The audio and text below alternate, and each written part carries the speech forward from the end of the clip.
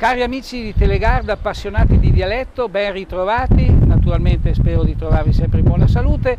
Guardate dietro di me cosa vedete? Vedete un angolo molto suggestivo, pittoresco, non siamo né sulla costa ligure né sulla costa malfitana, siamo sulla sponda veronese del lago di Garda, a Castelletto di Brenzone. Guardate questo porticciolo così bello, così vario nei colori e si addice bene appunto ad una puntata che ha a che fare con Floriani che nelle sue poesie esaltava sempre il mondo colorato, fantasmagorico delle nostre montagne e del nostro ambiente. Siamo a Castelletto di Brenzone perché oggi abbiamo ospite una persona che mi permette di dare un tocco di cultura a questa trasmissione. Una trasmissione modesta, ma che ha bisogno ogni tanto di elevare il proprio livello culturale. Questa persona ecco, chiaramente me lo permette perché è un cultore del dialetto, è un appassionato di Floriani, è un appassionato di letteratura in genere ed è fra l'altro amico anche di Eliseo Fava, che è stato nostro ospite più volte appunto a questa, a questa trasmissione, che ha, vi ricordate, redatto quel bellissimo vocabolario insieme ad altri a Medigo, ed ecco ve lo presento, è Livio Parisi.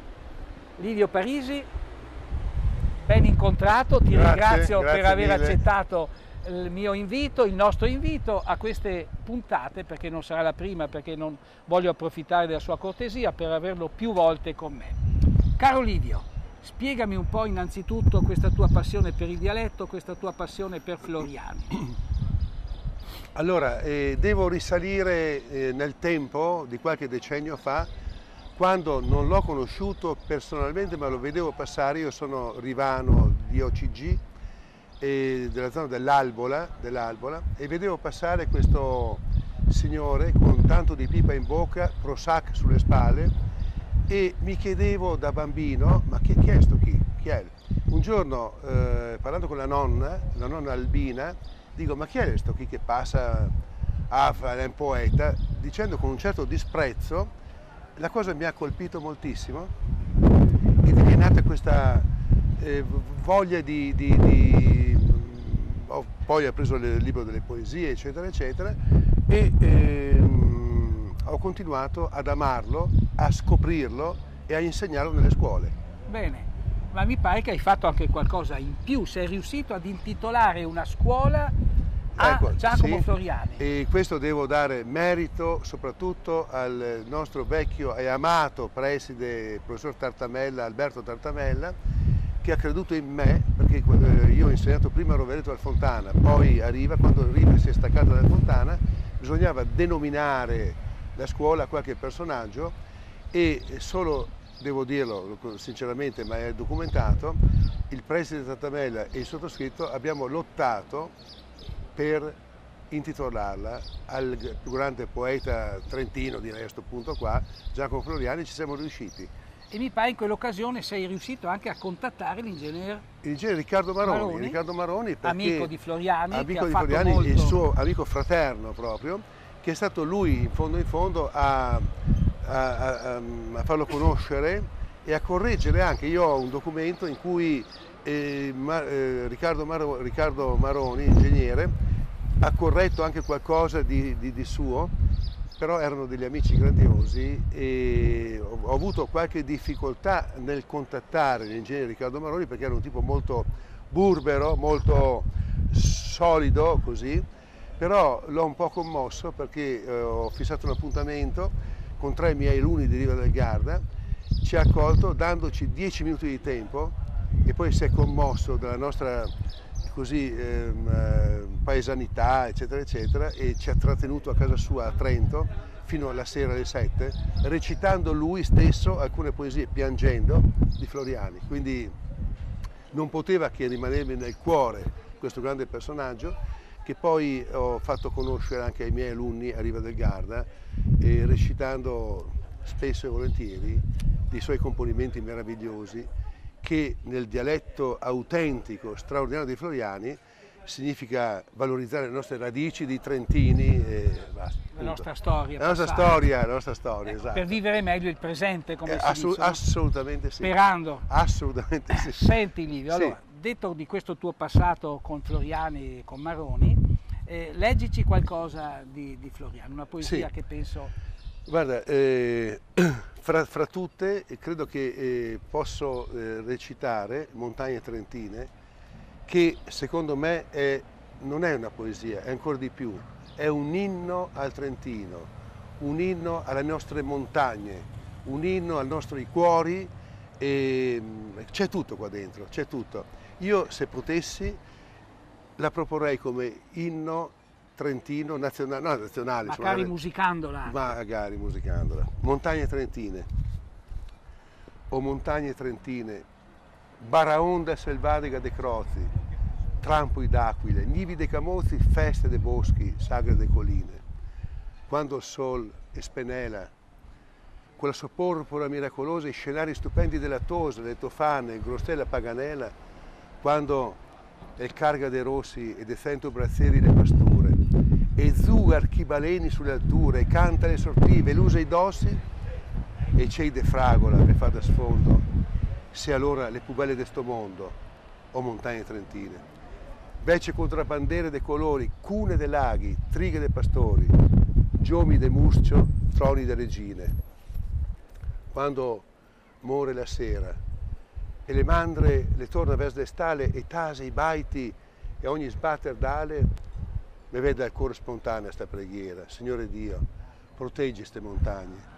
Daghe splendori doni fattezze regale che miracoli di bellezze. Fa che le siano eterne queste montagne.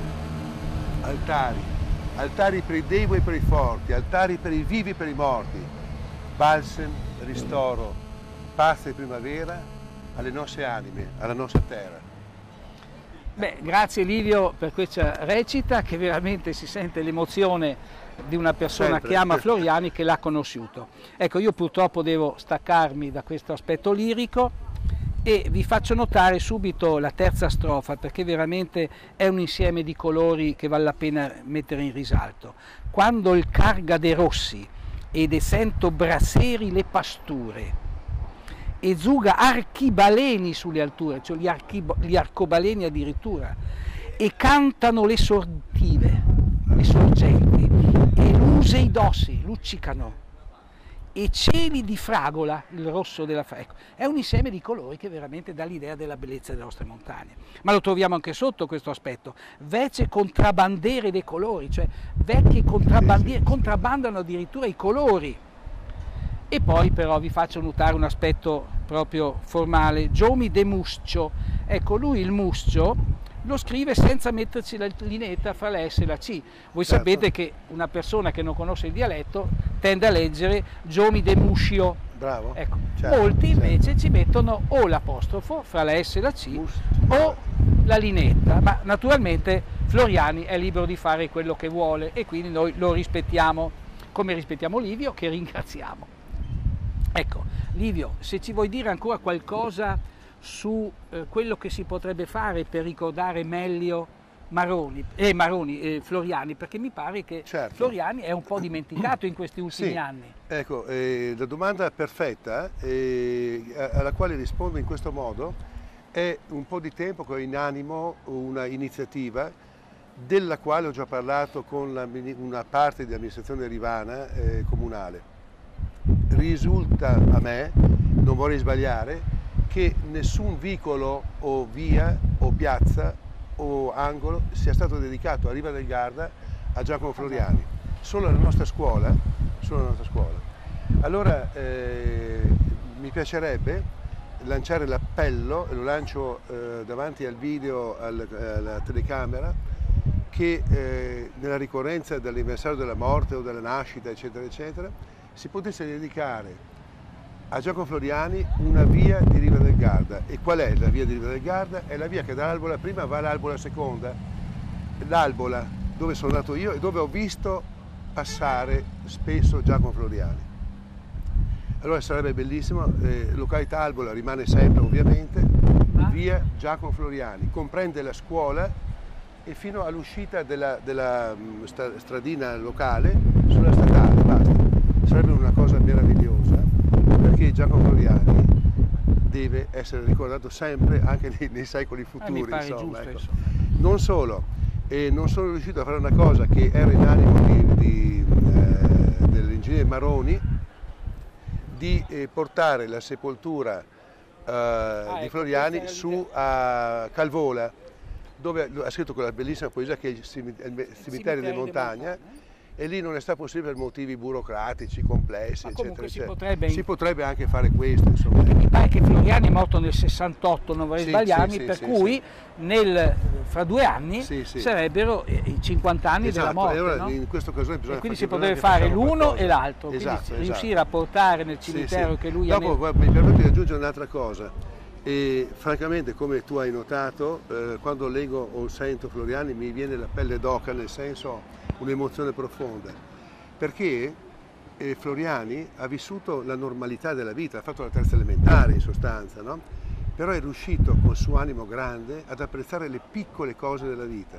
E questo è l'importante. e ad esaltarle. E ad poi. esaltarle assolutamente, trasmetterle con un Esatto. dialetto meraviglioso. Questa è una cosa incredibile, insomma. Cioè, è Certo. un genio della poesia, della pittura, della scultura, dell'arte in generale. Basta. Bene, quindi vedete cari amici che siamo partiti alla grande con Livio, eh, perché abbiamo una persona proprio che di Floriani è l'emblema eh, proprio eh, concreto. Vi dico subito che eh, con questa puntata e con le seguenti, perché vi ho già detto all'inizio che avrò intenzione di incontrare ancora Livio, ho intenzione alla fine di presentarvi dei vocaboli, però non i soliti vocaboli che traggo io dai soliti vocabolari dialettali altogardesani, ma tratti addirittura dalle poesie di Floriani. E oggi ne presento appunto 10. Allora, il brawl, ecco, una cosa brola, eh? un cibo brawl, vuol dire poco cotto. Però alcuni dicono anche brola nel senso di un quasi marcia, ma brawl vorrebbe dire poco cotto. Doprar, beh, un infinito presente del verbo eh, adoperare, quindi doprar. Encuca vuol dire svagato, distratto. Enfumega, e questo è bello, affumicato. Il granzom, che si raccolgono in montagna, sono, è il mirtillo. I granzoni, ecco, granzom, vedete, con la M al singolare, al plurale diventa granzoni, ma molti dicono anche granzon con la N. Noi ad Arco tendiamo a fare la M, Vim, Bom, Granzon. Il persemol, un bel accento fonico chiuso, vedete sulla seconda E, persemol è il prezzemolo. Sbacilar o sbazzilar è esagerare, vaneggiare. La tegia, parlando di patate, eh, parla nella poesia le patate appunto, una bella tegia di patate, la tegia è la teglia, il tegame, la pentola. Trabacol è un trabiccolo, un arnese malfatto. Cesium, ecco, cesium è una cesoia agricola, un forbicione che serve per potare, per tagliare le piante. E conclude adesso con un proverbio. Con la sposa massa bella che vuole la sentinella. Ecco, mi raccomando, chi che ha la sposa bella, attenzione ad assumere una guardia del corpo.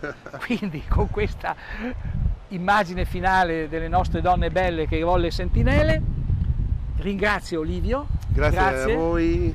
Naturalmente, grazie a voi, naturalmente spero sempre di aver suscitato un pochettino, scusate, e migol, ecco, migol di interesse, di passione per il dialetto. Vi aspetto la prossima volta e sicuramente avremo ancora in una delle prossime puntate Livio e mi raccomando ricordate che non è mai troppo tardi per imparare il dialetto. Grazie e arrivederci. Grazie mille.